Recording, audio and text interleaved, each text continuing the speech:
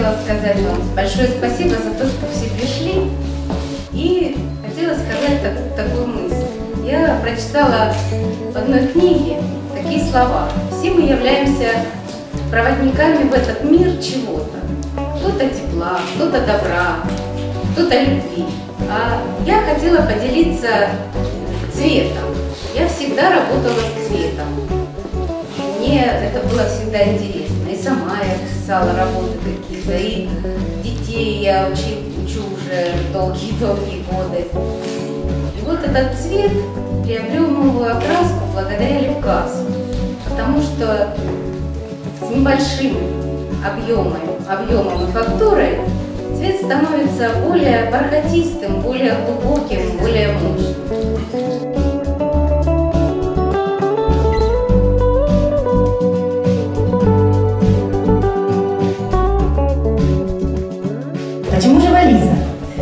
Говорят, автор, автор – это мысли, чувства, воспоминания, знания, которые собраны за всю жизнь. Это Древняя Греция, это скифы, это мифология, это сказки, это все, что наполняет нашу душу. А материалы, выбранные для передачи этих знаний, этих чувств, тоже выбраны живые. Это глина, дерево,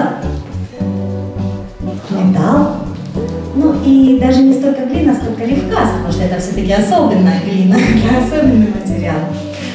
Это э, образы, которые передают э, столько мыслей, э, чувств, что каждый из нас, мне кажется, может в них найти то, что он хочет увидеть что видит текстура, цвет, объем, просто даже вот э, эмоциональное наполнение этих работ, они удивительные. Спасибо вам большое, что вы